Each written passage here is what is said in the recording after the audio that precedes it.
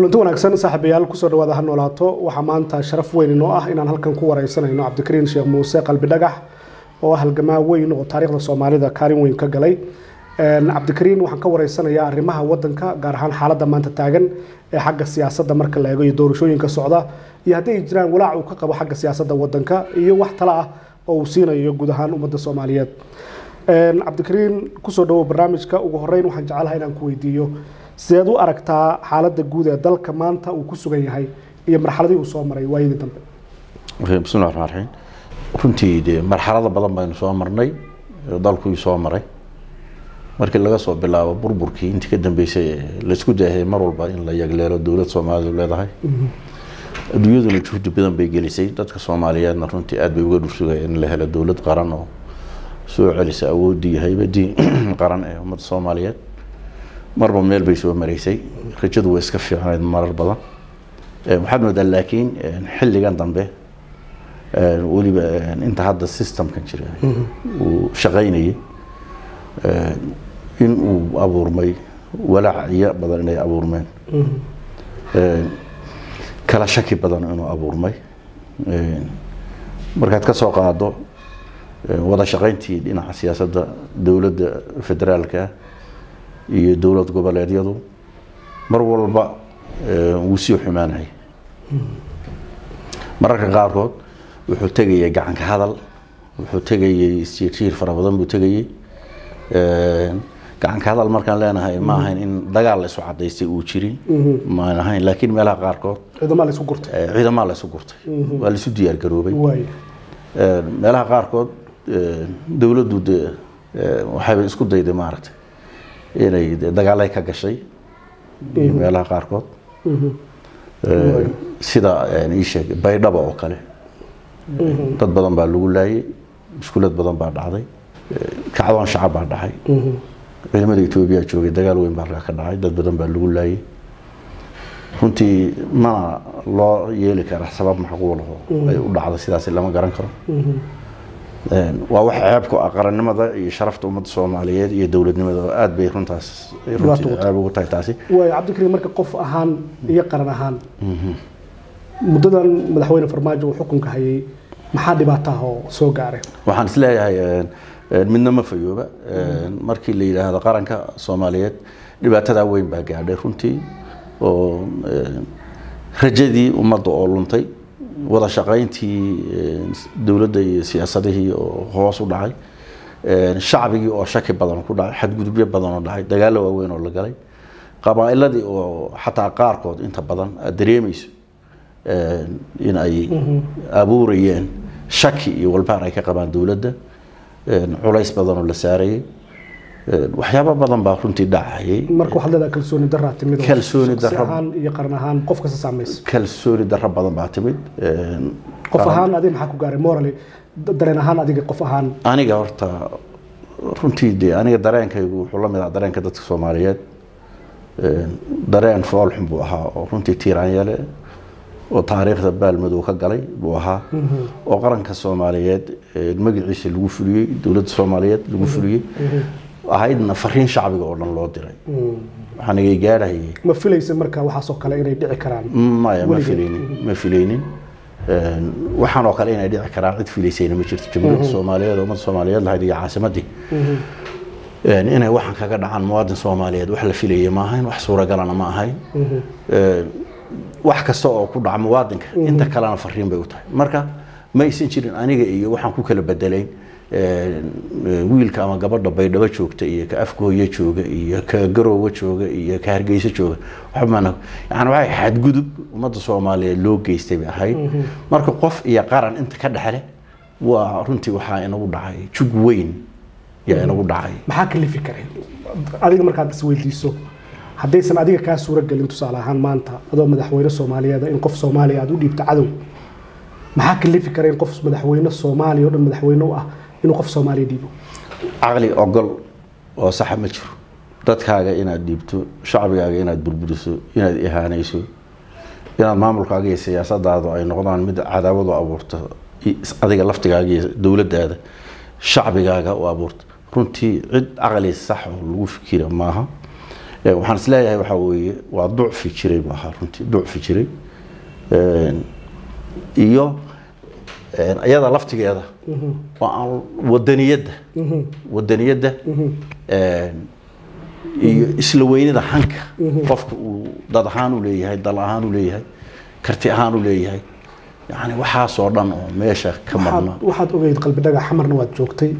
Ololihii doorashada uu ku galay farmaajo. Oo etoobiya nacaybka ahayd oo adiga laftaada iyo ururkaaga iyo soomaalida o dhan u riyaaqday.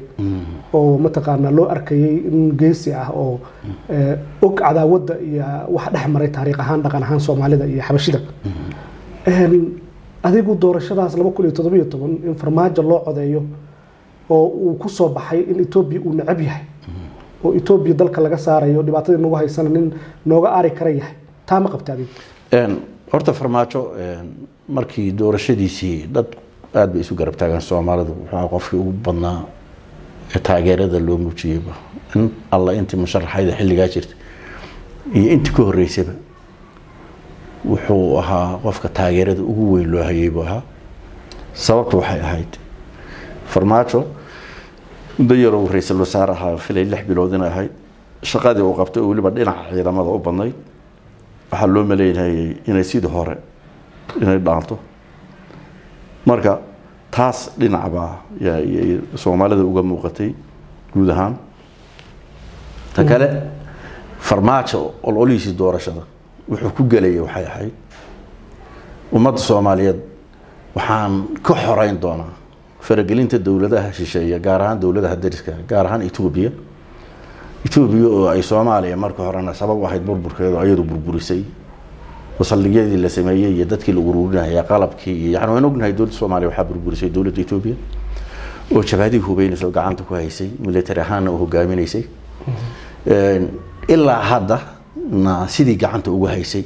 Ood og tahay inay qofka la keenayo waxay dhihi jirtay hebel leh ha issharo hebel isma sharixi karo. Waxay maamuleysay amxaaradu. Tuulo tuulo iyo degmo degma inoo maamuleysay dhammaan wadankeena dowlad goboleedyadii ka jiray. Waxay ahaayeen koolbogisyo ay isticmaalaysay. Etoobiya ahaay farmaajo isagoo intaaba ay u muuqato wuxuu ku dhawaaqay oo axdi ku maray in uu ka xoreyn doono ummadda soomaaliyeed dhaqanka ducfiga ah iyo faragelinta etoobiya oo u dhisi doono dowlad xor ah oo soomaaliya oo qiyam leh oo dunidu ka hibaysato inuu samayn doono. Faragelinta etoobiyana uu meesha ka saari doono. Cadowga koobaad ee dadka soomaalidu u muuqan jiray dagaal etoobiya nagala dhexeeyaa jiro oo weligeen dagaal baan soo wadnay ilaa sideed boqol oo sano axmed guri ilaa yoomin hada dagaal baan ku soo jirnay.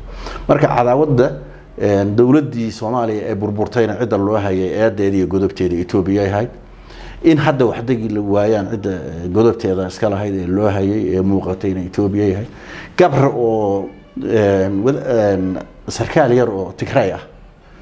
Yaa yani soomaalida wuxuu u maamuli jiray odayga nabadoonka ah iyo ka yarka ee makhaayadda haysta iyo madaxweynahooda iyo askarigooda iyo taliya ururka iyo cid walba. Gabraa maamulayay intaasaan ka xoreynayaa ayuu sheegay. Markaasaa la taageeray. Taageerada ugu weyn sababta u helay waxay ahayd taasi ahayd wadaniyaddaa uu muujiyey geesinimadaa uu tilmaamay xorriyaddaa ummadda soomaaliyeed uu tusay tii la filayay horta taasi ahayd. Runtii sababta loogu hilinayay taasi ahayd. Markii la doortay isaga waxaan xusuusannahay dadka soomaaliyeed meel kastoo joogeen dibadda iyo gudaha soomaaliya meel kasta habeenkii markii natiijada lagu dhawaaqay lama seexanin. Waagaa u baryay sidii loo dabaaldeghay damaashaad loo waday loo waday. Waay adiga marka maxaad u arkaysa farmaajo doorashadiisii waxa dadku aaminsanaayeen ma aaminsanayd? Ha waxaan ahaa qofka ugu horumeeyey inuu yahay halyey aan u baahnayn oo ilaahay subxaana watacaala inoo soo diray sidaa darteed. Maanta inaan garab istaagnaan aaminsanaa naf iyo maal iyo waktiba inaan ku garab istaagnaan aaminsanaa yacni in dowladiisu hirgasho oo dhidbada u aaso oo qaran soomaaliyeed dhiso in aan wax walba la garab istaagno oon ku taakulayna ahayd sababto annagu maanaan hebel wax la yidhahdo marno waxaan rabnaa dalkan iyo dadkiisa qof dhisaan u baahana rajadii ummadaanu lahayd qof gaadhsiiya yididiiladii qof rumeeyaan u baahana annaga dantaan lehna taas waqtigaad ogeydoo burburku jiray iyo dhibaatadu jirtay dalka waad joogtay. Maraad ka maqnayd iyo maraad gudaha ku jirtayba. Dowladdii ugu dambeysay xasan sheekh maxamuud waxaa la sheegay rag adiga ka mid tahay in laga dalbaday inay dhiibto. Laakiin aysan dhiibin. Een, laakiin farmaajo uu ku dhiibay. Arrintaa marka marba qarankii soomaaliyeed weligeedba haddii aysan dhicin in qof soomaaliya loo dhiibo etoobiya qabaa'iladu waa dhiibi jireen hargeysa laga soo bilaabo way dhiibi jireen meel walba maamul goboleed ka jiro dadka kumanaana la dhiibay. Laakiin calanka buluuga hoostiisa qofna laguma dhiibin. Adigu marka xilligaas xasan sheekh maxamuud joogay maxaa lagu dhiibi waayey ee xilliga farmaajo lagu dhiibi Een, horta waxay ku xidhan tahay garashada iyo fikirka iyo iyo ku xidhnayd xasan sheekh maxamuud waa run.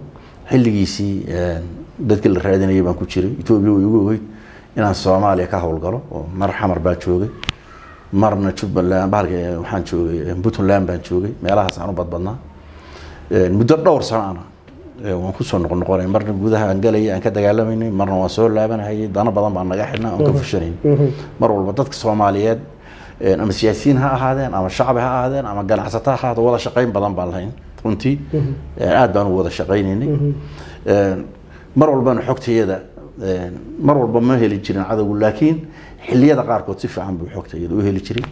Dowladda xasan sheekh xilligeedii xilliga ugu badan ee aada la isugu dayey aniga iyo nin kaleoo saaxiibana oo sheekh deeq la yidhaahdo oo kadib shahiiday iyo rag kaleoo madaxo oona la fog joogay aad baa naloo raaraadin jiray xogtanada iyo sawiradanada ayaa loo soo dhiidhiibi jiray. Kuwa loo soo dhiibay ee nabad sugidda iyo saraakiisha ciidamada kaleeta iyo dadkaas annagay noo keeni jireen xogta. Sawirkaaga soo kan maaha xilligaanu na soo gaadhay sidana lagu rabaa. Dabcan xasan sheekhna hay'adda sirdoonku asagay xogta siinaysa raggii xilligaa joogay ee saraakiisha sirdoonka madaxda ka ahay aad baan isu naqaanay. Aad baan u wada shaqaynay rag ka mida. Aad baan isaga warqabnay macnaha waxa weeye iyaga waxba lamaanaan qabanayn. Laakiin annaga danahanaga inaan fushano way arki jireen. Waxay nagula ballami jireen taxadar inaan aada u taxadarno meelaha maaragtay laga helo sirdoonka etoobiya iyo saraakiisha etoobiya iyo meelahana tilmaam bay naga siin jireen. Iska ilaaliya meelaha noocaasa hoteelada noocaasa iska ilaaliya xilliyada iska ilaaliya marka xasan sheekh xilligiisii isaga oo sidaa naloo ogyahay yaan haddana waxaan ku joognay kilkala duleelin iyo nooc soomaaliya war kuma arkee bar babligana hayse soo taagin. Danihiinana wata yaan ku joognay.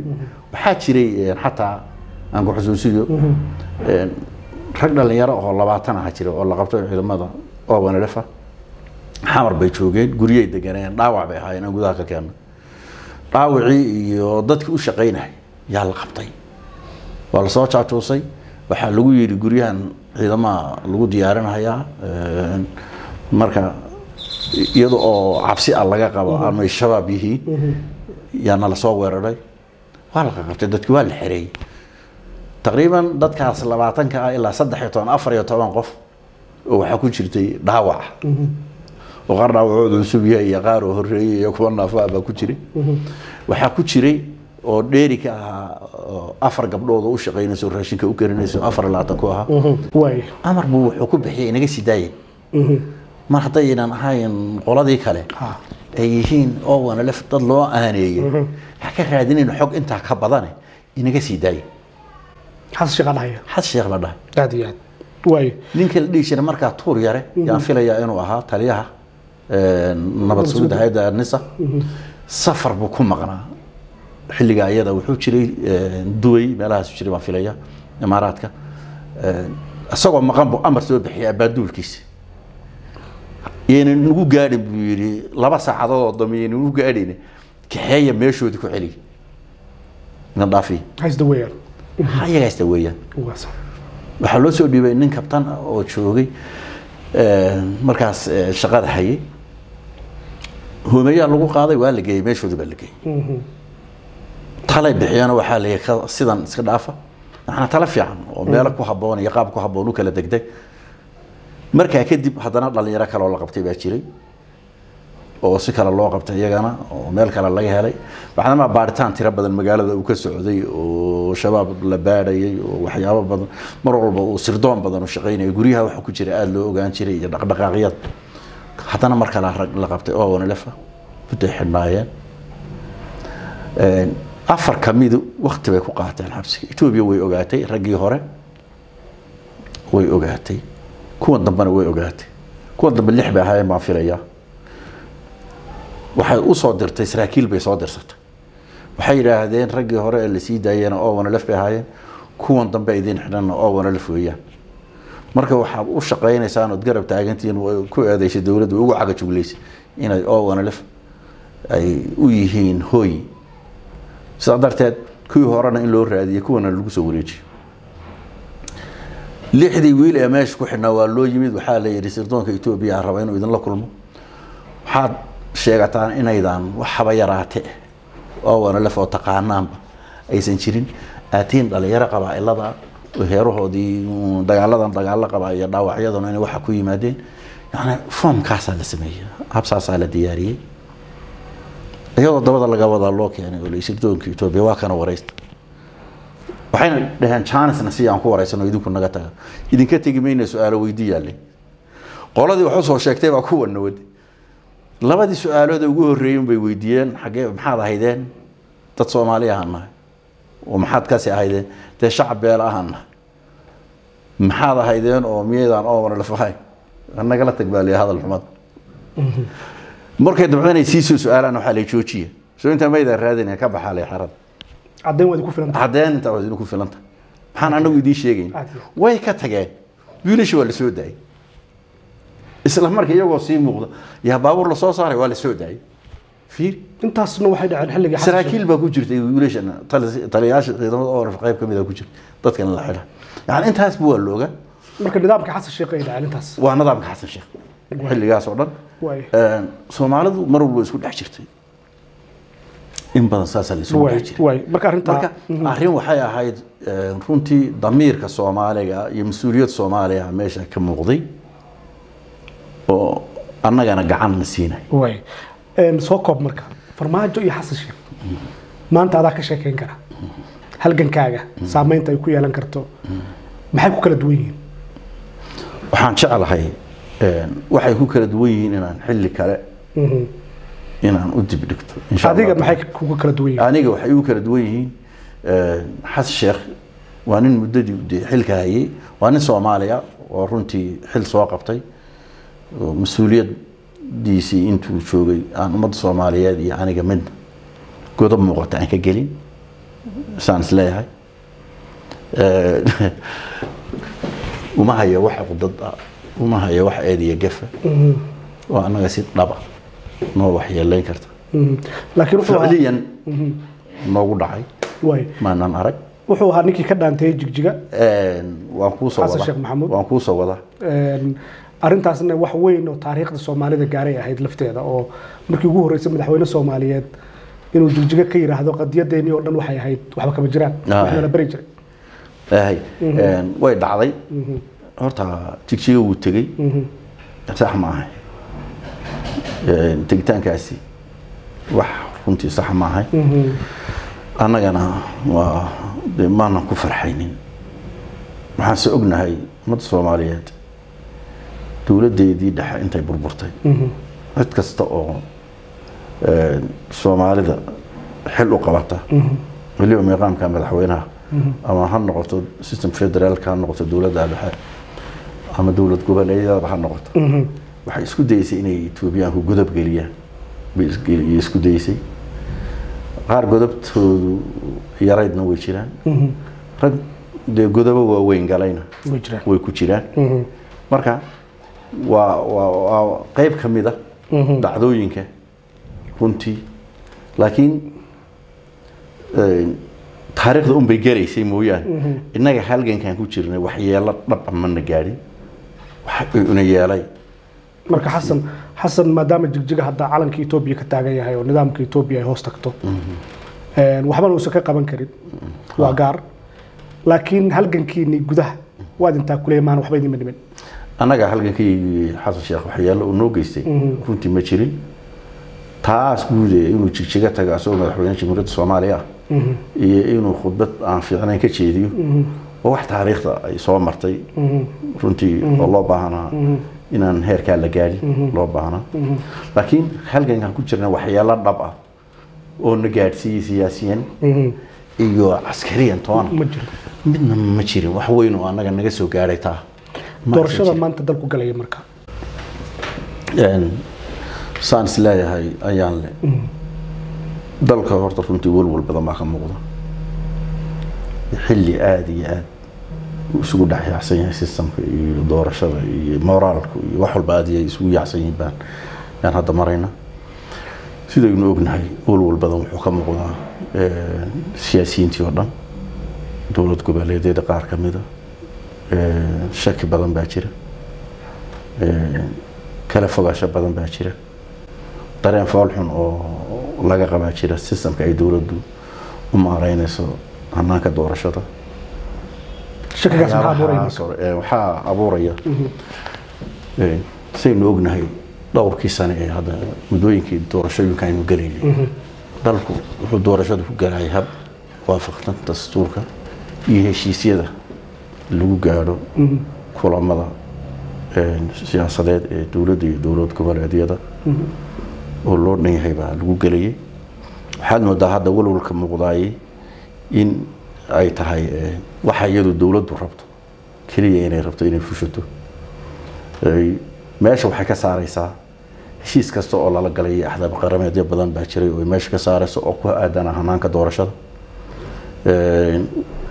Kulamo hadda la soo yeeshay baa jiray oo ayaga laftigooda xilli aan fogeyn la galay wixii lagaga heshiiyey. Waxay ka calaacalahayaan mucaaradku. Een, in laga leexday heshiisyadii hadda ugu dambeeyey. In laga leexday bay aada uga calaacalayaan taasina waxay keeni kartaa dadka soomaaliyeed iyo shacbiga iyo siyaasiyiinta iyo cid walba u muuqato waxa weeye. Maxaa ka dhalan kara? Haddii laga leexdo eh, sistamkii eh, doorashada iyo heshiisyadii la galay ku aadanaa doorashada iyo saxiixyadii lagu galay. Habka doorashada loo galahayo siyaasad loo dhan yahay oo raalli laysaga yahay Eh, haddii laga leexdo maxaa ka iman kara? Buuq baa hadda bilowday. Waad ogtahay shacbiga soomaaliyeed walwal badan buu muujinayaa. Diyaargarow badan baa muuqda ood mooda in maaragtay. Eh, la aaminsan yahay in natiijadu intay xumaato. Buuq iyo dagaal iyo khatar inay wadanka in ay ka dhacdo. Walwal badan baa ka muuqda marka runtii waa arrin aada u qalafsan saadaasha ififaalaha inoo muuqda maaha mid ina saacidaya runtii maaha. Habka dowladdu ay waxu eh, wadana iyo habka ay u dhisay guddiyada eh, farsamo ee doorashooyinka hab lagu wada qanacsan yahay maaha. Ma jirto cid ku qanacsan ilaa hadda oo badan oon aragnay eh, runtii markaynu fiirino dadka musharaxiinta iyo mucaaradyada dowlad goboleedyada qaarkood. Dhammaan si boqolkiiba boqola yaa loo diidan yahay. Hanaanka ay wax ku socdaan iyo habka dowladdu oo la aaminsan yahay boqolkiiba boqol inay ka leexatay habkii lagu heshiiyey iyo tasuurkii iyo xeerkii dalku lahaa. Muddana aan ku soo shaqaynaynay waana markii koowaad oo walwalkaa inagoo qabna.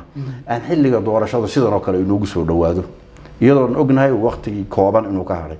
Xilligii doorashada la aadayay maamulka hadda jira ee ee madaxweynaha iyo waqtigoodii uu gabagaba yahay marka buuqa intaa leeg iyo kala shakiga intaa leeg ee muuqda runtii waa arrin walwalkeeda leh. Oon la qarin karin wey marka shakiga in la abuuro ma dowladda qayb ka ah mise mucaaradka qayb ka ah? Mucaaradka waan dhigi yuu geli lah way. Een, waxaan u galaynaa marka sidaad la socoto cabdikariin dadka sharaxaya waxaa ka mid ah ra'iisul wasaarihii xasan cali khayre oo xilligii adigu dhibaatada ku gaaraysay ra'iisul wasaare wadanka ka ahaa. Maanta doorashada socoto mucaarad iyo muxaafadba dadku waa kala qaybsan yihiin. Xasan cali khayre inuu issharaxo seed u aragta adiga? Horta xasan cali khare waa muwaadin soomaaliyeed. Xaq buu u leeyahay hadduu aaminsan yahay inuu dee wax qaban karo inuu issharaxo wuxuu la mid yahay kuwa is-sharaxay marka wax hadda ka hor istaago oo aan leenahay sababahaasa ka hor istaagayna hadda maynu aragno marka wuu is-sharaxay taasna isagay ka dhalatay. Laakiin qayb buu ka ahaa dadkii dhibaatada geystay. Waxa hadda aan ka sheekeynayno nidaamkan Een, ee, dhibaatooyinka la tirsanayo oo dhan dadkii geystay wuxuuna ahaa ninkii ugu sarreeya dowladda xukuumadda.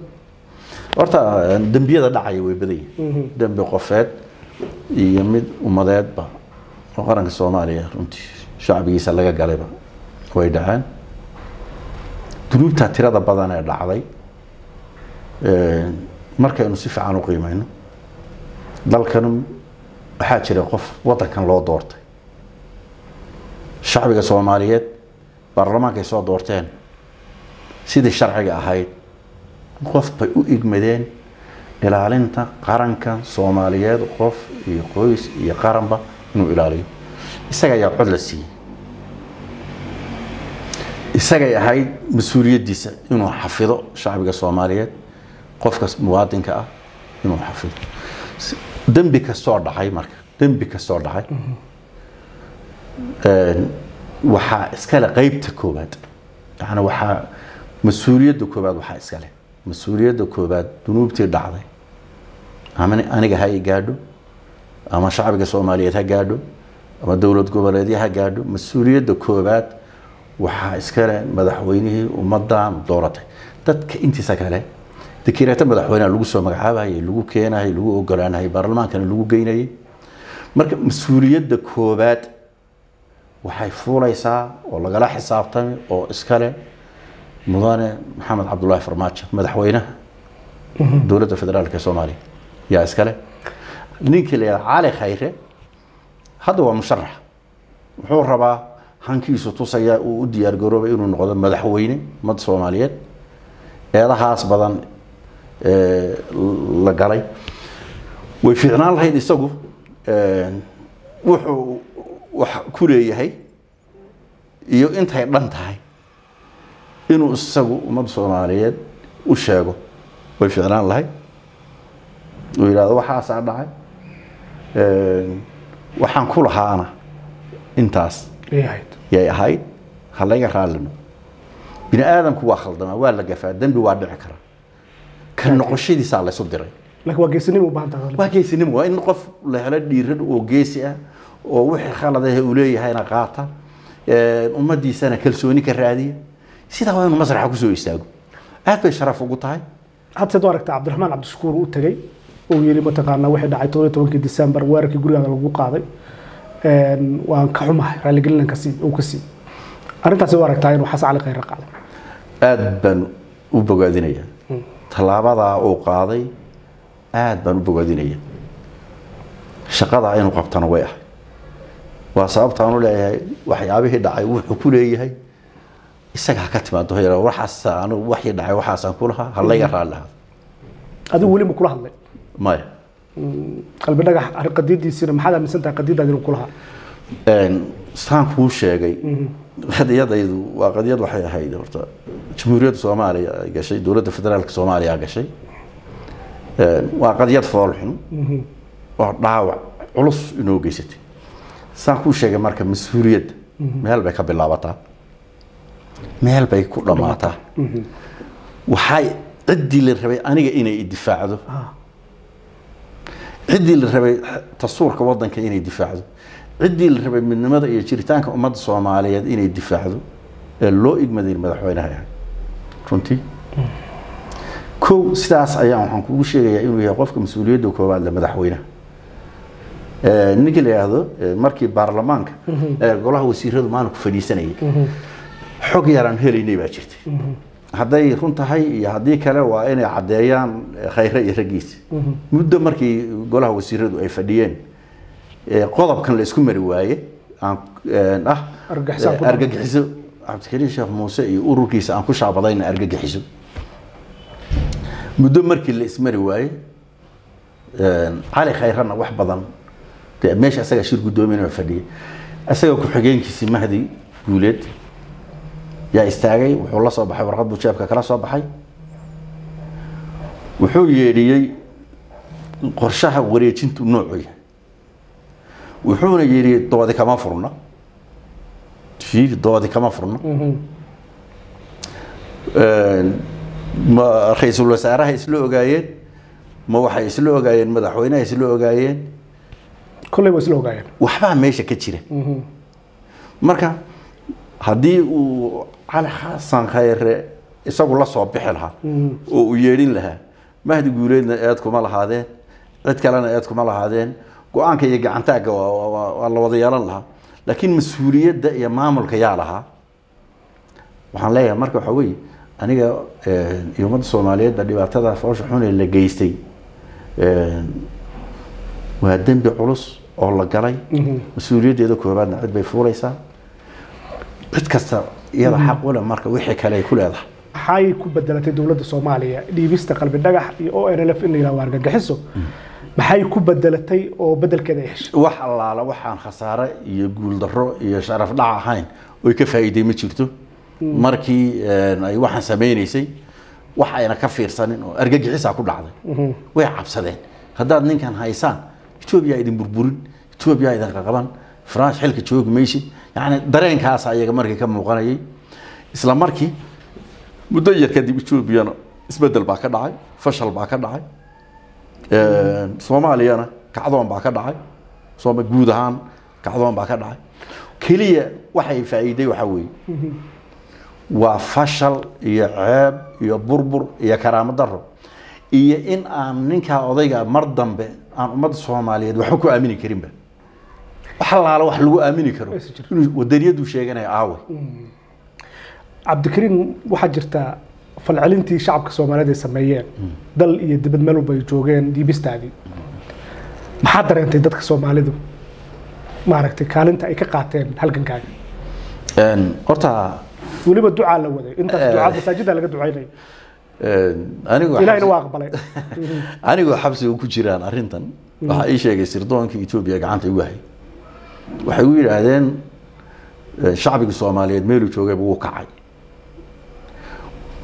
Waxay qiyaaseen oo iyagu dhexdooda aamineen inuu jiro organisation soomaali oo dhan ka dhex diyaarsan oo hadafka aan ku halgamaynay xambaarsan oo dadka soomaaliyeed soo diyaarinaya inuu jiro. Maxaa yeelay soomaali oon afartan sano isu heylinin oo wax wada qabsanin oon dagaal wada gelin oon siyaasad isku jaha u socota wada cabirin. Hal mar inuu dareenkaa muujiyo. Runtii eh, etoobiya nimankii ahayay iyo sirdoonka iyo dowladooda waxay ku riday niyad jab. Yay ku riday. Iyaga ay sheegay meesha dalku marayo. Warbixin bay iga siiyeen. Markay ii sheegeen waxaan gartay dadkayga soomaaliyeed inuu ahaa dad istaahila inaan xabsi u galo inuu ahaa dad istaahila inaan u dhinto. Waxaan u hayaa dhammaanteenna u haynaa ummad soomaaliyeed abaal aan soo noqonayn. Waxay isku xidhay burjigii iyo karaamadii iyo dhalashadii iyo rixmkii ummadda soomaaliyeed. Arrin isku xidhay bay ahayd. Arrin tusay cadowga ummadda soomaaliyeed inay jirto ummad soomaaliyeed oo isku xidhan oo markii loo baahday isu wada hilinaysa inay jirto. Oon lagu ciyaari karin qof iyo koox iyo dowlad shisheeye iyo midna ayna ku ciyaari karin. Inay tahay bay cadow kasta ummadda soomaaliyeed. Yay tustay? Jileeca arrimaha maamulka iyo siyaasadda ayaa dhib inagu ahe runtii shacbiga soomaaliyeed oo heli lahaa dowlad han leh oo awood leh heli lahaa. Maanta wuxuu noqon lahaa baal dahab oo geeskan africa iyo dunidaba ka geli lahaaba aada u mahadsan tahay. Ugu dambeyn dardaarankaaga maxaad kula dardaarmi lahayd shacabka soomaaliyeed kooxaha mucaaradka ah ee maanta xukunka doonaya xaaladda maanta taagan dardaarankaaga muxuu noqonayaa? Waad mahadsantahay Een, ee, horta dardaarankaygu wuxuu inta badan u badan yahay walwalka ka muuqda dadka soomaaliyeed. Abaabul fara badan baa socda. Musharaxiintu waa tiro badan yihiin mucaaradku waa tiro badan yahay. Qof walba meeshiisu abaabul ka wadaa xukuumaddu dhinaceeda ay abaabul ka wadaa ama dhinac dowlad goboleedyada qaybo ka mid a ha adeegsato ama odayaal ha adeegsato ama dadka shaqada shaqada haya iyo madaxdaba ha la adeegsado abaabul baa socda. Abaabulka socdaan dhammaan waxaa laga dhex karinayaa oo la hurinayaa shacbigii baa la hurinayaa. Hadda ka hor waxaynu naqaanay kacdoon kasta oo shacbigu leeyahay natiijada ka soo baxda waynu naqaanay. Waxaan dhihi lahaa marka labada qolaba qolyaha mucaaradka waa dad runtii muxtarim ah labeyntii shacbiga soomaaliyeed waa dad xilal hadda soo- ka hor soo qabtay oo la yaqaano oo caana oo dadku aada u jecel yihiin intooda badan. Lagana filayo inay wanaag ummadda soomaaliyeed ku hogaamiyaan oo horseedaan. Waxaan leeyahay marka abaabulku yuusan noqonin mid ku salaysan qabiil iyo kacay iyo hayaay iyo inaga qabtaa iyo inuusan noqonin mid ku salaysan ummadda soomaaliyeed in la tuso waxa ka maqan iyo waxa ay ku gaari karto iyo hab wadaniyadeed hab horumarineed hab lagu heli karo dowlad awood leh oo sharaf leh iyo ciddii hogaamin lahayd lagu heli karo oo wiilka jooga ama gabadha joogta xarar dheere iyo ka jooga meesha la yidhaahda isheeg boosaaso iyo ka baydhabo jooga iyo ka bu-aalo jooga iyo ka kismaayo jooga isku si in wax loogu akriyo in isku si wax loogu sheego. Isbedelku waa inuu ku yimaadaha isku xidhan oo soomaali ah oo dadka loo diyaariyo seenu heli karnaa dowlad awood leh seenu heli karnaa dad aan ku kalsoonnahay seen u abuuri karnaa jawi isku xidhi kara dadka. Haddaan maanta qabiil qabiil dadka u diyaarino waxaa inagu dhacahaya haddee dagaal baa dhacahaya berri meeshaan gaadhsiinayna kama soo celin karo. Nimankaa marka mucaaradka musharaxiinta waxaan rabnaa ka codsanayna inay aada ugu turaan ummadda. Haddii ilaahay yidhaahdo isbedelkuna ku yimaado dariiq saxa. Cabdikariin maxaad uga qayb geli lahdaa siyaasadda? Adoo og halgankaad soo martay dhibaatadaad soo martay oo qof ahaan iyo qaran ahaanba lagu dhibaateeyey la socda xaaladda. Haddaad tahay qof raba inuu soomaalida wax ka bedelo maxaad siyaasadda uga qayb geli lahdaa bas kugu jira ahaan siyaasadeed. Inaa ummaddan wax niyo waad mahadsantahay. Ayaan. Leh sidaad garanayso siyaasad weyn oo soomaaliyeed oo hal meela ka socota ma jirto. Waa siyaasad qaybsan oo intaasoo dowladooda yaryar ka jirto hebeland hebeland hebel shabeelle hebel galbeed. Waxaasoo dhan baa wada jira. Mid kalaa jirta. State wadanka etoobiya mid baa ka jirta. Inta mada toddoba mise sideed madaxweyne soomaaliya iyo sideed toddoba dowladooda soomaaliya ahaa jira. Inta badanna saaxiib ma wada ah. Haddii mid ka mida aan la shaqeeyo oon systemkeeda ku biiro waxaan lumiyey taageeradii inta kale oo dhammaan aan saaxiibana dhammaantood laakiin dowladda dhexe laftigeeda markaan qeyb ka noqdo taa qeyb markaan ka noqdo qaar baan ku qanacsanayn. Somaliland kuma qanacsana waxay u arkaan dadka dowladda dhexe jooga ee xamar jooga ee halkaa madaxda ka maamulaya. Dad iyaga runtii aan maslaxana u haynin ayahoodana ay ka tashadeen ay ka go-een bay u arkaan. Laakiin dowladda dhex ma qaldan iyagaa qaldan ma dhahayno way khaldan yihiin. Waxay ahayd cid khaldan iyo cid saxanba in la wada hadlo. ciddi qarannimada soomaaliyeed in la wada hadlo. Qofka diidan qarannimada iyo qofka doonayaba waxay ka soo bixi kartaa wada xaajood rasmi ah marka la galo ma xukumi karno ma dhihi karno hebel baa hadda gardaran iyo hebel baa garle wada hadal qaran in la galaa bay ahayd oo dowladda dhexe ay u tahay buddhige in la galay ahayd. Markaasaa garta la ishordhigo iyo dowga meesha yaalla cidda diidda iyo cidda qaadata ayaa loo odhan karaa taasaa gardaran iyo taasaa gardaran. Saad og tahayna dee dalka mabda waay laakiin cid kastoo qarannimada soomaaliya ka soo horjeeda. Gar ma laha waxbaa qofku waxbuu taban karaa wuxuu dhihi karaa waxbaan tabanaya laakiin midnimada iyo qarnimada soomaaliyeed qofna kama hor imaan kara horta saad og tahay dagaalkii dowladdii dhexe soomaaliya lagu burburiyey. Dowladdu jug aada u culus bay geysatay. Jugtii gaadhay ummadda. Way u sii kala badnayd. Meelaha ugu badan ee jugtu ka dhacday waxay ahayn gobollada waqooyi hargeysa iyo burca ay ahayn meelii ugu daraa diyaaradda airboortka hargeysa ka kacaysa hargeysa duqeynis altaleeriga burca laga ridaa burca lagu ridahay inkastoo meelo badanba ka dhacdo beledweyne way ka dhacday. Altaleeriga ka dhacahay irid meesha lama galay. In ilaa irid aamin iyo janta uu socdo way dhacaysa. Bari way ka dhacday. gaalkacyoo dhan baa gubatay dhuusamareer baa gubatay. Hal qofoo shacbiga kuma harin jugtu way kala cuslay somaliland iyadoo marka dugsanaysa dhinaca walba anagoo dowlad laakiin nidaamkii soomaaliyeed ee dowladda dhexe oo laga wada midka ahaa qalad iyo saxba ayaa geysatay dhibaatadaas. Dowladdii dhexena shacabkii soomaaliyeed aa riday. Marka dowladdii dhexe mar horeyba dhacday yaa la rabaa inuu magdhow bixiyo loo haysta arrintan aniga waxaan aaminsanahay waa kuu sheegay ayaan waxaan aaminsanahay waxaa weeye wadahadal qaran in la qabto dib u heshiisiin qaran in la qabto dowladda dhexana inay hogaamiso federaalka soomaaliya. In lala doodo shacbiga waqooyi somalilan in lala doodo si dhaba in loo wada xaajoodo anuu taan qabataa weeye iyadoo la dhihin kanaa soomaali diidanaya kanaa soomaali doonaya inta badan waxyaabaha sii kala fogeeya dadka waxaa weeye soomaali baad diidan tahay soomaali baad doonaysaa iyo soomaali baad ku duushay iyo adaa shalay dilay. Iyo yani waxaasaa socda haddii mushkuladu dhacdo. Waxaa fiican in la yidhaahdo meeshan mushkiladda waxa weeye cabdikariin soomaalidu siyaasiyiin waxgarad ah ayaan muuqan sida la sheego. Oo dadkan iyo dalkan midayn kara. Waxaan ah in maalin walba dadka la kiciyo tacsidii iyo arooskii meel walbo la jooga laga sheekeeya xumaan iyo cadaawadii soomaalida dhex martay iyo kacaankii tagay laga sheekeeyo. Waxa keenaya dadka lama midayn karo. Dad midayn karana ma joogaan. Nin walba marka kooxda meesha ku haysto caadifad ku haystaa iyo inuu qabyaalad ku kiciyo. Marka qof qowmiyadan midayn kara xagee laga helaya waxay u baahan tahay dad daacad oo u fikira ummadda soomaaliyeed xoog abuuran oo kaalintaas ma qaadan karta adiga inaad ummadan midaysa ma qaadan qayb baan ka noqon karaa. Hadda ka horna waan isu diyaariyey. Haddana qorshaheedii meelaha qaarkood wuu ka soconaya. Waa inaan abuurno dad soomaaliyeed oo ummadda soomaaliyeed lagu aamini karo.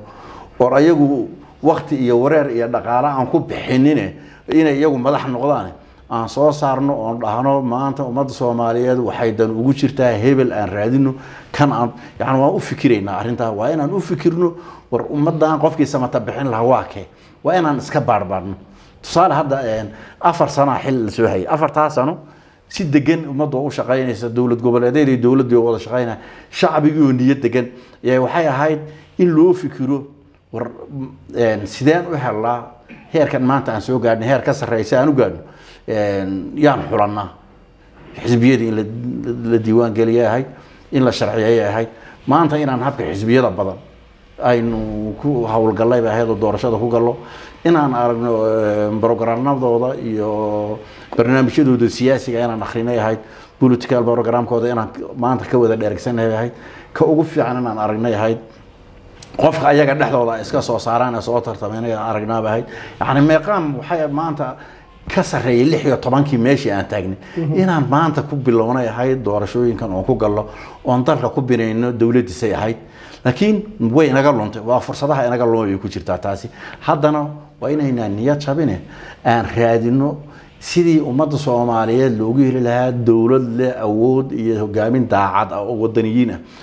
Waa in loo helo wey oo ka fayow qabiil iyo koox iyo gruub iyo corruption iyo mushkulad ka fayow waa inaan helo taasna baad goob bay u baahan tahay waqti inaan gelino. Dad badana halgamaya oo taariikhda marka la eego hadda shucuubta halgamaysa. Waxaa ka mida kurdida.